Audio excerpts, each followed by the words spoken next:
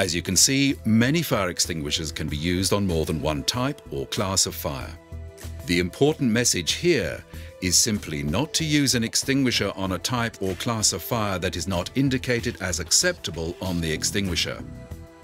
For example, a water extinguisher, which is only suitable for Class A fires, that is fires involving ordinary combustibles, should never be used on fires that involve a live electrical source.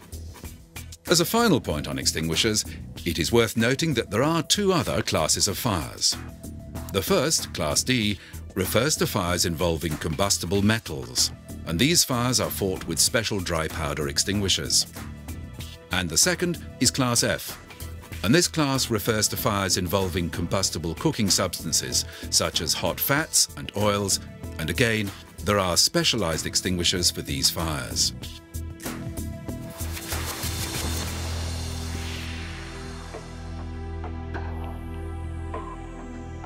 There are a few simple checks that should be carried out before using any extinguisher. Most extinguishers have a gauge, and this should be checked to see if the extinguisher is fully charged.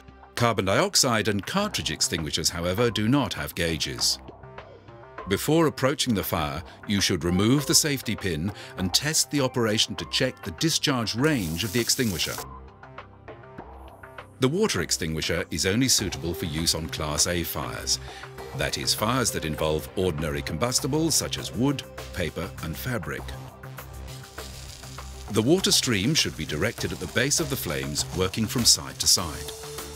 As the flames diminish, you should change the stream to a spray by placing your finger over the nozzle.